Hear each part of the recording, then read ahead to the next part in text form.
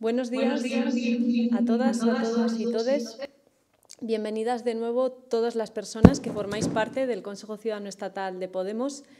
Y también quiero saludar desde aquí a todas las personas que nos seguís a través del streaming. Gracias también a los equipos, a las personas que componen los equipos que han hecho posible que esta reunión pueda celebrarse. Y me gustaría que mis primeras palabras fueran de agradecimiento sincero a Lilith Bestringe por su excepcional trabajo al frente de la Secretaría de Organización de Podemos en uno de los momentos más difíciles que ha vivido nuestra organización política. Han sido unos años muy intensos en los que todas hemos tratado de dar lo mejor de nosotras mismas para transformar nuestro país. Y, por supuesto, quiero darle también la enhorabuena a Pablo Fernández, que estoy convencida va a hacer un trabajo magnífico como secretario de organización. Gracias, Pablo, por asumir este reto tan complejo y al mismo tiempo tan ilusionante. Muchas gracias. Hemos convocado este Consejo Ciudadano Estatal para anunciaros que ya tenemos el resultado de las primarias para las elecciones europeas. Quiero darle las gracias a las más de 36.000 personas que han vuelto a participar en este proceso democrático impulsado por Podemos. Estoy profundamente orgullosa de liderar una organización política que hace lo que dice, que cumple con sus compromisos democráticos y que siempre, siempre celebra primarias abiertas a la ciudadanía para elegir a las personas que nos representan, tanto dentro de nuestra organización como ante las instituciones públicas. Este es uno de los principales patrimonios democráticos que tenemos como organización y creo que debemos protegerlo por encima de todo. En Podemos, las dirigentes y los dirigentes mandamos obedeciendo. Y quien decide si merecemos la confianza de los cargos que ostentamos sois vosotros y vosotras, la militancia, los inscritos y las inscritas y cualquier persona que quiera participar en Podemos. Hoy celebramos y os anunciamos que Irene Montero será nuestra candidata a las próximas elecciones europeas del junio de 2024.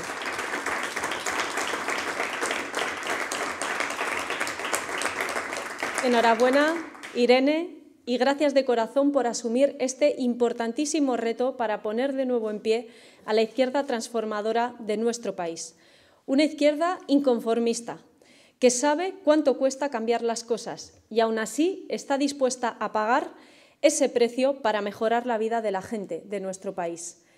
Irene, puedes contar conmigo con Podemos y con las miles de militantes que nos vamos a dejar la piel para que este proyecto de transformación profunda, este proyecto feminista, este proyecto ecologista y valiente tenga voz en Europa. Mi enhorabuena también desde aquí a Miren Gorrochategui y todo su equipo que ha ganado las primarias de Podemos para las próximas elecciones vascas. Creo que tenemos una oportunidad única de que en Euskadi haya un gobierno que se parezca más a lo que vota la gente en Euskadi. Un gobierno nítidamente de izquierdas. Y para eso es imprescindible que el Carrequín Podemos esté más fuerte que nunca. Aurrera, miren. Y quiero también dar la bienvenida a las nuevas coordinadoras y coordinadores autonómicos que han sido elegidos en estas primarias y que estoy segura van a hacer un trabajo excelente para fortalecer a Podemos a nivel territorial. Enhorabuena a Isabel Serra, nueva coordinadora de Podemos en la Comunidad de Madrid. Enhorabuena a María Teresa Pérez, nueva coordinadora de Podem en la Comunidad Valenciana. Enhorabuena también a Concha Avellán, que revalida la coordinación autonómica en Cataluña, a Marta de Santos, ahora al frente de Podemos en Aragón, a Diego Ruiz de la Peña, nuevo coordinador de Podemos en Asturias, y a Javier Sánchez, que continuará dirigiendo nuestra organización en la región de Murcia. Enhorabuena a todas, a todos. Tenemos un reto colectivo crucial, llevar nuestro proyecto a cada rincón de este país y con vosotras estoy convencida de que va a ser posible. Muchas gracias y un aplauso. Enhorabuena. Enhorabuena.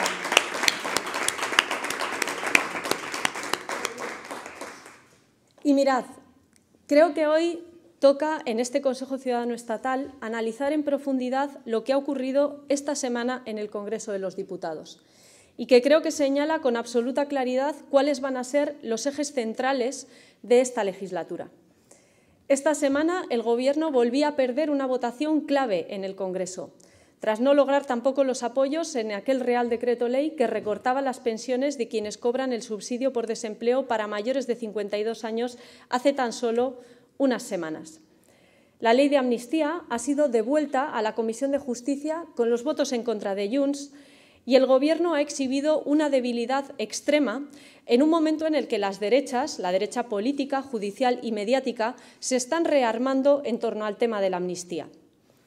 Creo que no soy la única que piensa que el presidente del Gobierno y el Partido Socialista se están arriesgando demasiado pensando que en España solo mandan ellos y que pueden gobernar como si tuvieran mayoría absoluta. Creo que es crucial para la democracia española y para la gente de nuestro país que el Partido Socialista y todos los partidos que conformamos la mayoría plurinacional y democrática que sostienen a este Gobierno entendamos que en este bloque nos necesitamos todos y todas. Que todas entendamos, también toda esa gente que se movilizó en las elecciones del 23 de julio para frenar a las derechas, que este debate no va sobre amnistía sí o amnistía no yo comprendo perfectamente que hay mucha gente en nuestro país que está pensando, bueno, a mí la amnistía me parece bien, pero ¿cuándo va a empezar a hacer algo el Gobierno para que bajen los precios del alquiler en España o los precios de los alimentos? ¿O cuándo se va a empezar a hablar en este país de la conciliación entre la vida familiar y laboral? ¿Alguien en este Gobierno va a hacer algo para que se frene el genocidio que estamos viendo en Gaza? Yo entiendo que haya mucha gente que piensa así y lo comparto. Pero creo que también tenemos que entender que este debate no va sobre amnistía sí o amnistía no, insisto. El debate sobre la ley de amnistía va de democracia o dictadura judicial. Lo que está haciendo el juez García Castellón, que no es más que un cargo más del Partido Popular y que, por cierto, está denunciado por Podemos por prevaricación contra nuestro partido, es dictadura judicial.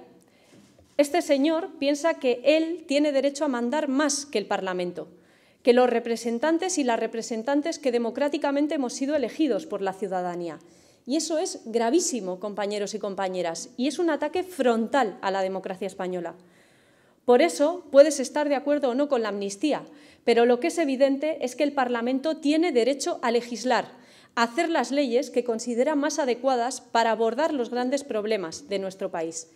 Y ahí creo, compañeras, que nos tienen que encontrar a todas las demócratas unidas.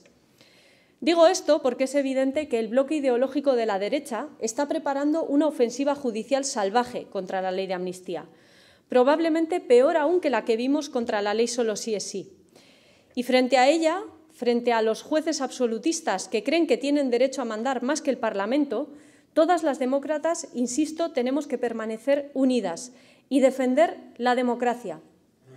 El problema, y es lo que más me preocupa, es que estamos ante un Partido Socialista carente de toda claridad ideológica, que ha cerrado este acuerdo sin ninguna convicción, únicamente porque necesitaba los votos de Junts para gobernar.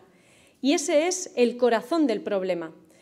Necesitamos en el Gobierno un partido que tenga claro cuál es su proyecto. Nosotras lo tenemos muy claro. Si Podemos estuviera en el Gobierno, estaríamos haciendo mucho ruido para que la ley de vivienda se aplique hasta sus últimas consecuencias, para que la justicia se especialice y atienda adecuadamente a las mujeres víctimas de violencia sexual, para desburocratizar de una vez por todas el ingreso mínimo vital, para que se haga algo y España respalde a Sudáfrica ante la Corte Internacional de Justicia. Pero lamentablemente tenemos un gobierno en el que solo manda un partido socialista sin brújula ideológica alguna. Esa desorientación es lo único que explica que esta misma semana, la semana en la que la derecha exhibe su estrategia más antidemocrática en el Congreso, el Partido Socialista haya decidido sentarse al mismo tiempo en Bruselas, con el objetivo supuestamente de renovar el Consejo General del Poder Judicial. En el fondo, eso es lo que le gustaría al Partido Socialista, volver al bipartidismo. Y parece que no se da cuenta que con estas derechas ni siquiera esa vuelta al bipartidismo es posible. Ahora mismo solo hay dos opciones ya, bloque democrático o derecha autoritaria. Y ahí es donde el Partido Socialista tiene que hacer una elección. También quería trasladar desde aquí todo nuestro apoyo a las compañeras de Podemos Galicia que arrancan hoy su campaña electoral y muy especialmente a Isabel Faraldo, nuestra candidata. Isabel, para quienes no la conozcáis, es una trabajadora del sistema de salud público gallego que lleva toda su vida defendiendo una sanidad pública de calidad para todas y para todos, incluso, y esto no lo sabe mucha gente, con una huelga de hambre. Es una persona que nunca se ha equivocado de bando, una persona de verdad. Si Isabel obtiene el escaño, no me cabe ninguna duda de que se va a dejar la piel como nadie para defender la sanidad pública en ese Parlamento. Y soy consciente de que nos enfrentamos a uno de los partidos populares más fuertes de todo el Estado. Es cierto. Pero precisamente por eso tiene más sentido que nunca defender nuestras ideas y decir las verdades que nadie más se va a atrever a decir en esta campaña. Alguien tiene que atreverse a decir en esta campaña que Amancio Ortega no paga los impuestos que tiene que pagar y que Galicia necesita partidos que no le laman las botas a Amancio Ortega y a su familia y que le hagan leyes a su medida, perjudicando con ello la sanidad, la educación y la atención a la dependencia de todos los gallegos y las gallegas. Además, hoy quería también transmitir desde aquí nuestro apoyo como Podemos a las mujeres que con tanta valentía han denunciado públicamente en estos días a los directores de cine Carlos Bermud y Armando Ravelo. Todavía hay muchos silencios que romper en España para acabar con la impunidad de los agresores sexuales y también porque queremos decirles a todas las mujeres que no están solas, que España ya es otra y que se acabó callar por miedo o por vergüenza.